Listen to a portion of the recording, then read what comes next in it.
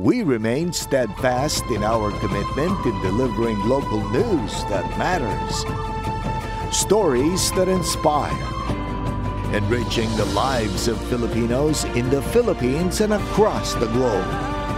This is your GMA Regional TV. Buong puso para sa Pilipino. Narito na ang mga pinakamalalaking balita ngayong Webes. Bangkay ng isang lalaki natagpo ang palutang-lutang sa ilog sa Batangas City. Luzon Grid nasa yellow at red alert ngayong araw batay sa abiso ng NGCP. Mga pinaalis na ambulant vendor at PUVs muling nagsulputan sa palibot ng Lipa City Public Market. Planong pagbabalik ng taripa sa mga tricycle sa Batangas City, umani ng iba't ibang reaksyon. At presyo ng ilang isda sa Lipa City Public Market, bumaba ng 20 pesos kada kilo dahil sa maraming supply.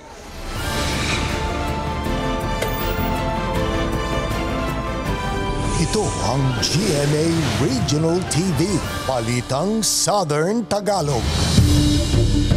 Magandang hapon mga kapuso, narito na ang Balitang Southern Tagalog. Hatid namin ang mga pinakamalaki at pinakahuling balita sa Timog Katagalugan. Live mula rito sa GMA Batangas Station, ako po si Ace Medrano. Nasa yellow at red alert pa rin ang Luzon Grid ngayong araw batay sa abiso ng NGCP. Hinihimok naman ng Energy Department ang publiko na magtipid sa konsumo ng kuryente. Para sa detalye, makakasama natin live si Paul Hernandez. Paul?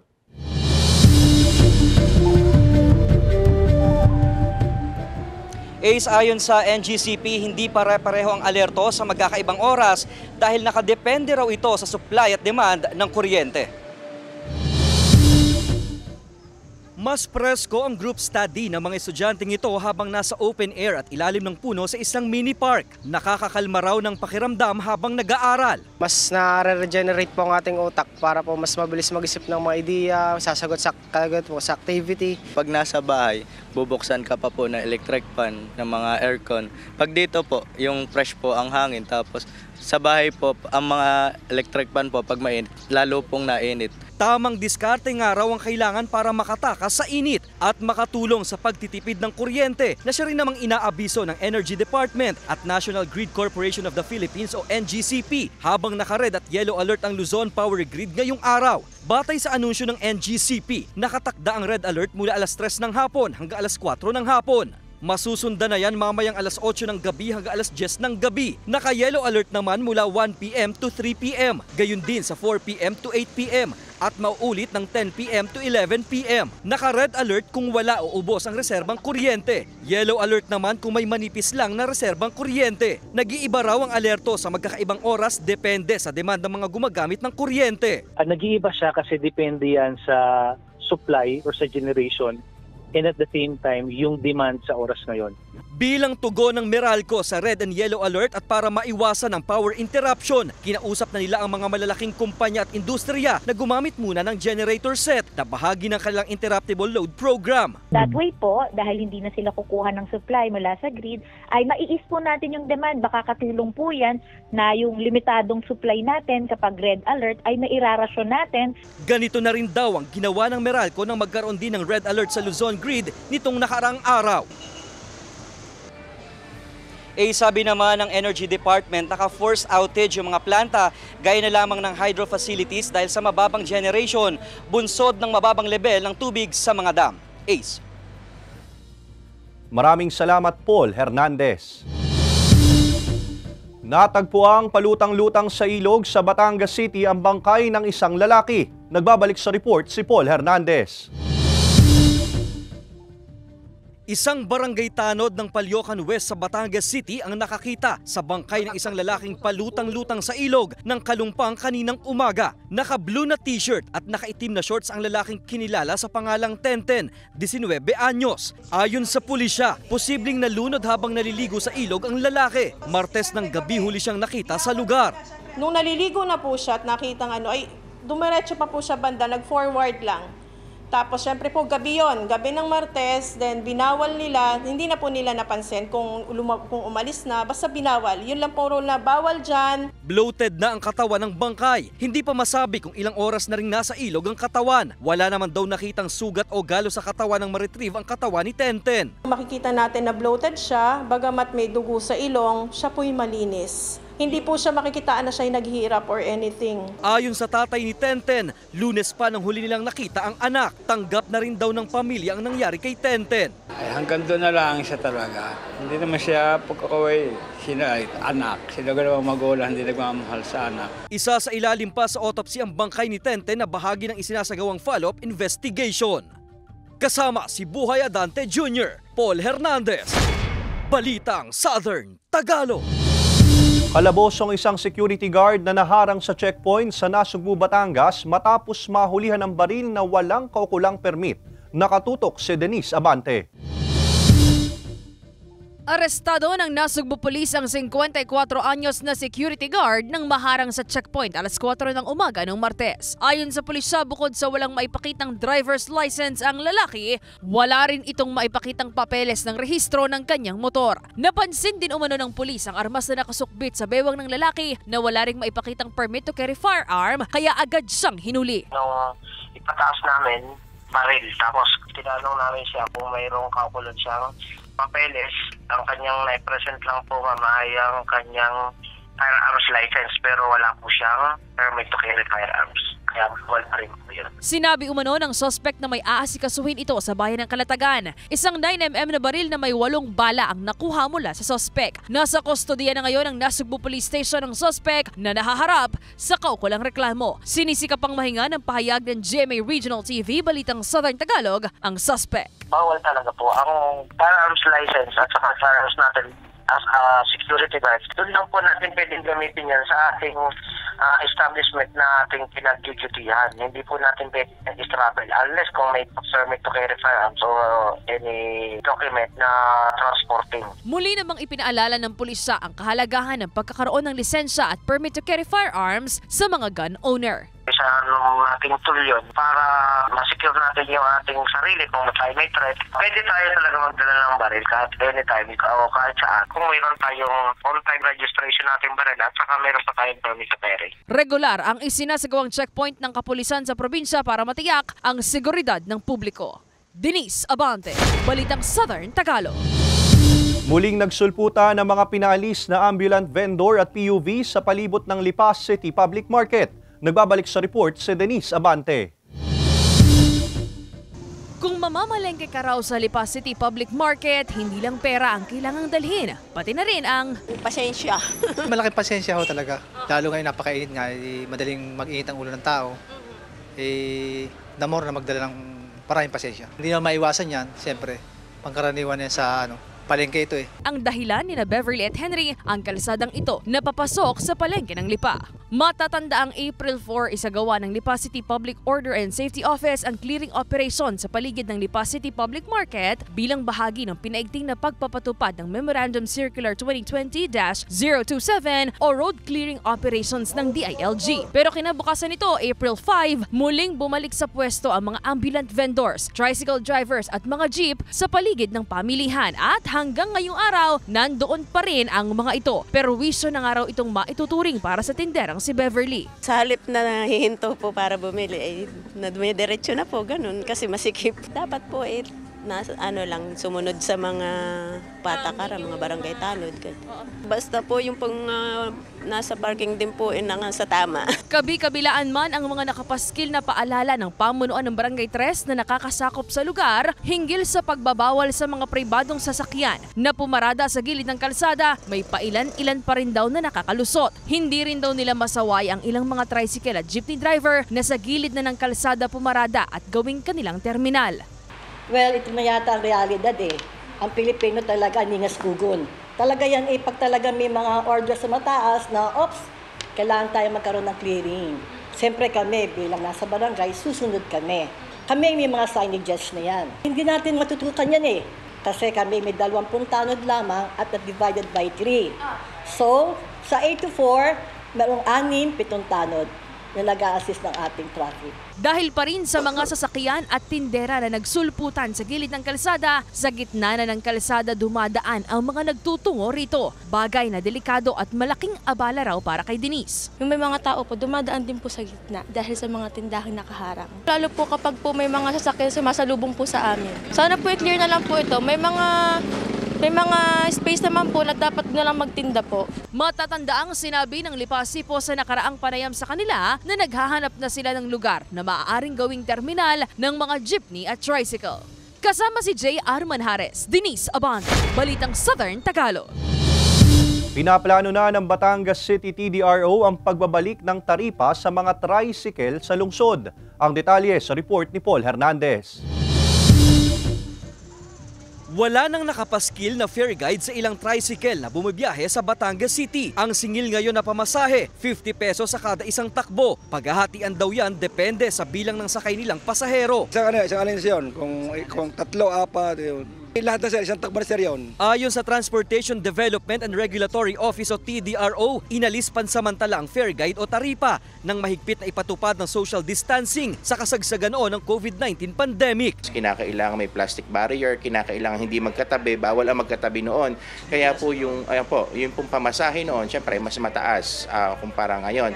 Ngayon naman po na bumalik na sa normal ang lahat, kinakailangan po nating i-regulate pero nasa planong ibalik ng TDRO ang taripa, lalo't nasa 2019 City Ordinance naman din daw ito. Nakasaad sa ordinansa na 12 pesos ang pamasahe kada pasahero sa unang dalawang kilometro. Inilagay na po natin siya sa pinakasukdulan nung ano noong uh, provision. So actually po 12 pesos po inakalagay na pinakamataas na pamasahe until umabot yung presyo ng gasolina sa 75 pesos. So once lumampas pa siya doon, so nangangailangan na po ng amendment. Pero para sa mga tricycle driver, napapanahon ng itaas ang singil sa pamasahe. Masyado na nga raw maliit ang 12 pesos dahil sa patuloy na pagtaas din ng presyo ng mga bilihin at iba pang gastusin. Tapos sa traffic, pagbalik naman wala, wala na mga pasahero. Ay di doon na napunta para kami mintin sa makina, langis, gulong. Ay wala na kami maiuwi sa pamilya. Eh sa mahal naman nun ng gas. At ang tagal pa ro namin naghihintay ng pasahero. Wala na rin ko kami mauwi. Sa 50 pesos nga ho, hirap na hirap na kami. Alam ng TDRO ang magiging pag-almang ito ng mga tsuper ng tricycle. Paplanuhin din daw ng samahan ng mga tricycle driver na kausapin ng City LGU para maparating ang kanilang hinaing.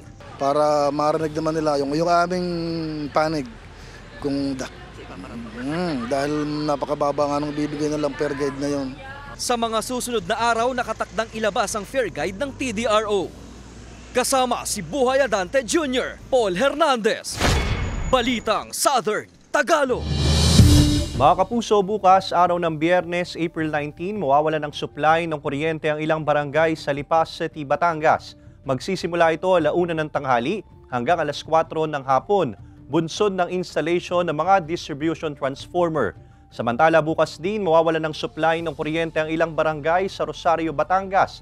Magsisimula ito sa pagitan ng alas 9 ng umaga hanggang alas 5 ng hapon bunsod ng manual load dropping o rotational brownout.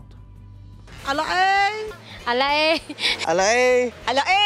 Alae! Alae!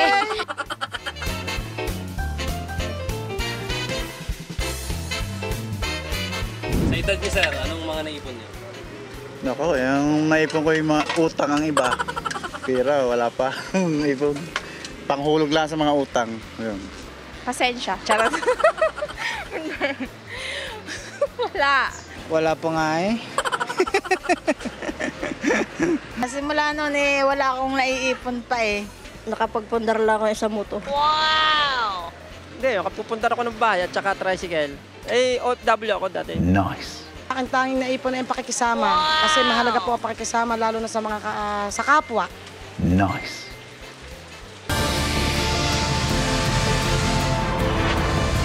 Ito ang GMA Regional TV. Balitang Southern Tagalog.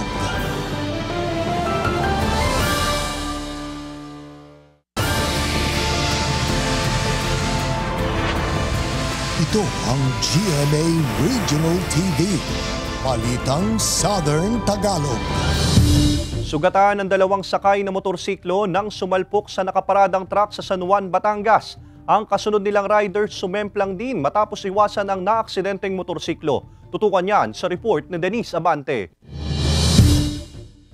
Nakahiga pa sa kalsadang sakop ng Barangay Maraykit sa Nuan, Batangas ang rider na ito nang marespondihan ng mga otoridad alauna ng madaling araw kahapon. Sa investigasyon, pauwi na sana ang biktima sa Barangay Lipahan ng kaparehong bayan kasama ang angkas nito nang sumalpok sa isang nakaparadang truck. Sugatan naman ang isa pang rider na kanilang kasunod matapos sumemplang ng iwasan ang naunang motorsiklo. Galing daw sa inuman ang tatlo bago mangyari ang insidente. Hindi nila napansin dahil medyo madilim sa lugar. Yung isang truck na nakapark doon na unattended po, huli na para makaiwas. Ang kanya po yung, yung truck sa bandang, likuran. At yung uh, sunod nilang motor ay umiwas. Kaya po ay nagkaroon ng ano, uh, ibang uh, sugat sa bahagi ng katawan nila. Ayon sa pulisya, may hinihintay lang daw ang truck driver kaya napatigil sa gilid ng kalsada. Dinala ang mga biktima sa isang ospital sa bayan upang malapatan ng paunang lunas. Dagdag pa ng pulisya, pawang mga walang helmet na suot ang mga rider at angkas nito. Nagkaroon na po sila ng pag-uusap at uh, sa kasalukuyang nasa sa settlement. Mananagutan naman po ng bumanggang motor yung lahat ng nasira at nasaktan, nasaktan doon. Sinisika pang makuhanan ng pahayag ng GMA Regional TV Balitang Southern Tagalog ang mga biktima gayon din ang truck driver. Kung po tayo ay paparada, siguraduhin po natin na naka-part ng hazard po tayo o kaya meron po tayong nilalagay na early warning device nang sa ganoon magkaroon ng warning sila na meron po nakaparada. At syempre sa mga ano, mga motorista, ay kailangan po na tayong mag-ingat at uh, uh, sumunod po sa ano, uh, batas trapiko. Denise Abante, Balitang Southern, Tagalog. Bumaba ng 20 pesos kada kilo ang presyo ng ilang isda sa Lipas City Public Market dahil sa maraming supply. Ang detalye sa live report ni Denise Abante. Denise?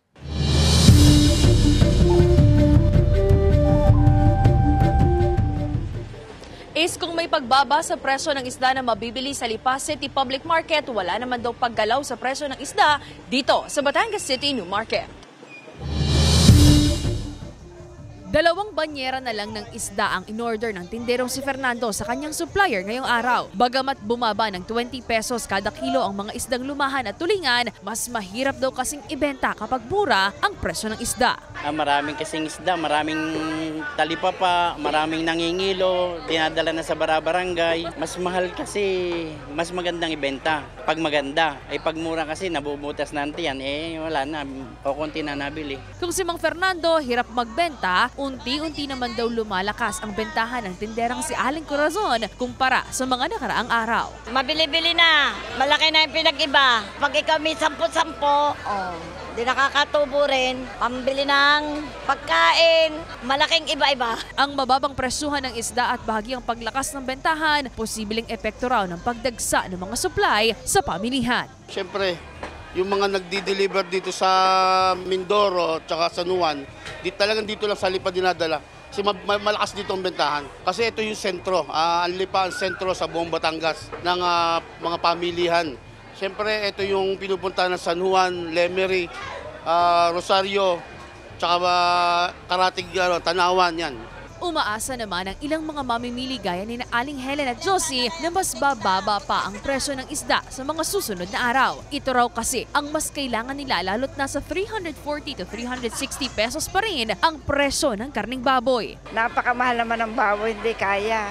Tsaka matatanda na hindi natutunawan pagka Kaya isda, maganda-ganda ang presyo, hindi kagaya ng mga 300. Mas maganda ang presko kung siya ay mabibili. Sadya naman laging isda dapat kasi ang ulam ay nakakatigas na ng tiyan. Sabi ng pamunuan ng pamilihan, nakikita nilang magtutuloy-tuloy na ang mababang presyuhan ng isda sa pamilihan. Sa tingin ko, hanggang uh, bago matapos ng summer, magiging uh, mababa ang presyo ng isda.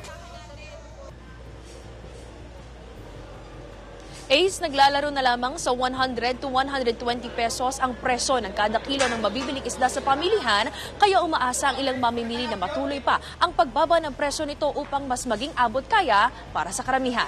Ace? Maraming salamat, Denise Abante. Nagbabala ang Sparkle GMA Artist Center tungkol sa mga hindi otorisadong individual na nagre-recruit online. May mga nagpapanggap daw na Sparkle executive sa iba't ibang messaging applications.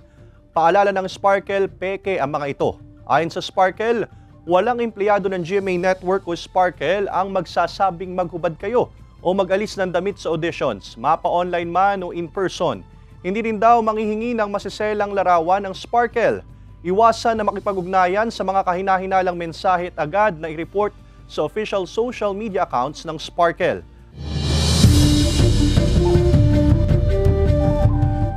Ipinakita ni Running Man Philippines Season 2 star Glyza De Castro ang kanyang summer body. Samantala, ipinaalam daw ni Ruru Madrid kay Bianca Umali ang kissing scene nila ni Angelique Kang sa Black Rider. Narito ang report ni Hazel Alviar. Beating the heat si Running Man Philippines Season 2 star Glyza De Castro with her trip to beach. Ipinasilip pa nito ang kanyang summer body kasama ang kanyang asawang si David. Ipinasilip rin nito ang ilan nilang random photos mula sa kanilang road trip.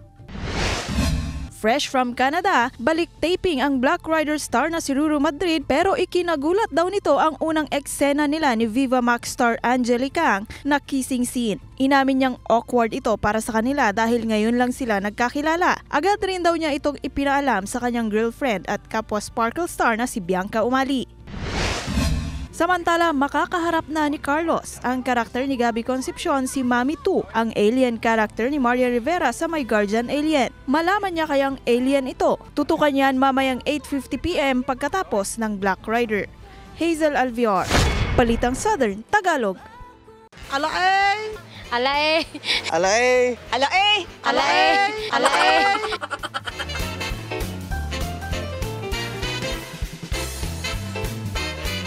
Sa edad mo, anong? Yung para po sa akin ba, kinabukasan ng aking anak. Ano, ano yun? Pera po. Ko ito. Hindi eh, panggasto sa mga bahay, sa mga bata. Yun lang, yung kita sa pamasada. Nice. Pera lang, mga bari-barya. Wala pa po akong naipon. Nakakawala na pang araw-araw. Nakabili po ng sariling bike. Nice. May ano na rin po, savings. Naipon ko yung savings ko. Konti lang.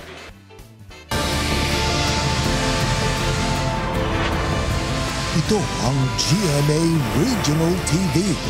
Balitang Southern Tagalog.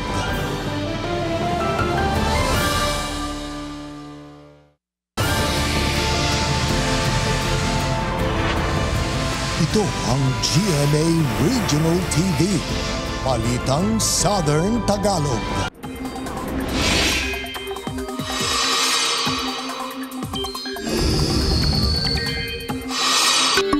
Mga kapuso, wala na yung low pressure area na namataan kahapon sa labas ng Philippine Area of Responsibility.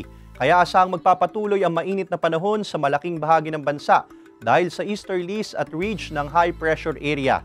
Base sa datos ng Metro Weather, mababa ang tsansa ng ulan sa Southern Luzon maliban sa ilang bahagi ng Palawan. Posible rin ang localized thunderstorms sa ilang bahagi ng bansa, lalo sa Visayas at Mindanao. Nakatulong ang e-filing ng annual income tax return para maiwasan ang mahabang pila sa tanggapan ayon sa BIR. Alamin yan sa report ni Paul Hernandez. Malaking tulong ang electronic filing ng Annual Income Tax Return o ITR ayon sa Bureau of Internal Revenue o BIR sa Batangas City. Dahil sa huling araw ng filing nitong lunes, hindi kasing rami ng mga nakaraang taon ang pumila sa opisina. Meron kami mga RCOs na sa offices different municipalities nag-accept sila ng ano ng mga returns. Meron at pwede rin magbayad sa kanila. Meron din mga bangko na nagbabayad at karamihan nga nag-EFPS na. 9.2 billion pesos ang target collection ng BIR Batangas City ngayong 2024. Mahigit 3.1 billion pesos ay dapat na makolekta mula Enero hanggang Abril. Pero sa actual collection, hanggang nitong April 11, nasa 2.2 billion pesos pa lang ang nakukuha nila. Sabi ng ahensya, pwede pa rin mag-file at magbayad ang tax due. Yun nga lang, may penalty na yan. Depende yan eh, sa tax due yan. Lagi kayang may surcharge, may interest at saka may compromise penalty. Babala nila kung hindi gagawin ng isang individual ang responsibilidad na magbayad ng buwis, may dapat siyang kaharapin. Pero basically, yan yung binabayaran, income tax tsaka yung VAT or percentage tax. So, pag hindi mo siya fina-filean, hindi ka nagbabayad o kahit wala ka namang kinikita pero hindi mo inobliga ang sarili mo na uh, religiously, on the deadline, mag magpa-file ka ng return, magiging open case kasi yan eh. Ayon sa BIR, tungkulin ng Pilipinong magbayad ng buwis. Dito kinukuha ang pondo sa mga public service, infrastructure project, security and national investments. Kasama si Buhay Adante Jr., Paul Hernandez. Balitang Southern Tagalog. Naka-bronze ang unang news docu ng GMA Integrated News 360 na sundo sa 2024 New York Festivals and Film Awards. Narito ang report ni Denise Avante. Sa unang pagkakataon, nanalo sa New York Festivals TV and Film Awards ang lahat ng programa ng Kapuso Network na na-shortlist sa iba't ibang kategorya. Higit isang linggo mula ng sumit na banggera, Kabilang dyan ang kauna-unahang news documentary sa ilalim ng GMA Integrated News 360. Ang dokumentaryong sundo, wagi ng Bronze World Medal sa news program category. Hatid ng mga veteranong mamamahayag na sina Rafi Tima ligtas na sila, pero yung mga bahay na pinuntahan namin, at JP Soriano nakakarinig sa kanilang putok. kasama ang video journalist na si Kim Sora. Kuya Kim! Kuya Kim! God! My God! Apektado ang marami nating kababayan. Buong puwersang inilahad ang istorya at karanasan ng mga naipit nating kababayan sa gera sa pagitan ng Israel at Hamas.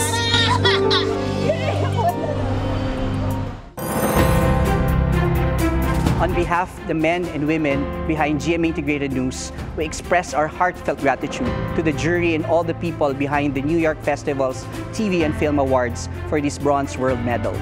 We share this award to our countrymen, especially to all the Filipino overseas workers and their families here and abroad, and to those affected by the Israel-Hamas conflict. To God be the glory. Wagi rin sa iba't ibang kategorya ang anim na programa ng GMA Public Affairs. Humakot ng parangal ang The Atom Aralio Specials kung saan gold medalist ang dokumentaryo nitong Batas Bata para sa social justice category. Silver World Medal naman ang iniuwi ng isa pa nitong dokumentaryong Hingang Malalim para sa Human Concerns category. Nag-uwi rin ng tatlong World Medal ang flagship documentary program ng GMA Public Affairs na Eyewitness. Silver medalist para sa social issues category ang dokumentaryo ni Atom Araulio na Bawat Barya. Bronze World Medal ang mga dokumentaryo ni Howie Severino na Boat to School para sa Heroes category. At ang docu ni Mav Gonzalez na Sisid sa Putik para sa Community Portraits category. Kinilala rin sa global stage for the first time ang action-packed drama series ng GMA Public Affairs na Black Rider na bronze medalist para sa entertainment program drama category. Thank you very much, NYF. Denise Abante, Balitang Southern Tagalog. Mga kapuso, bukas, araw ng biyernes, April 19, mawawalan ng kuryente ang ilang barangay sa Batangas City sa pagitan ng alas 10 ng gabi hanggang alas 2 na madaling araw ng Sabado, April 20, bunsod ng upgrading at installation ng facilities. Samantala, mapapanood niyo po ang episode na ito at iba pa ang pinakahuling lokal na balita sa official website ng GMA Regional TV, www.gmaregionaltv.com. Pwede rin kayong bumisita sa aming official YouTube channel, GMA Regional TV at i-click ang subscribe button para sa pinakamainit na balita mula sa rehiyon. Dahil sa GMA Regional TV, local news matters. At yan ang mga pinakamalaki at pinakahuling balita sa Timog Katagalugan. Maraming salamat sa pagsama sa amin pati na mga kapuso sa ibang bansa na tumutok sa mga balita sa rehiyon. Kami, ang GMA Regional TV Balitang Southern Tagalog, buong puwersa para sa mas malaking misyon at mas malawak na paglilingkod sa bayan.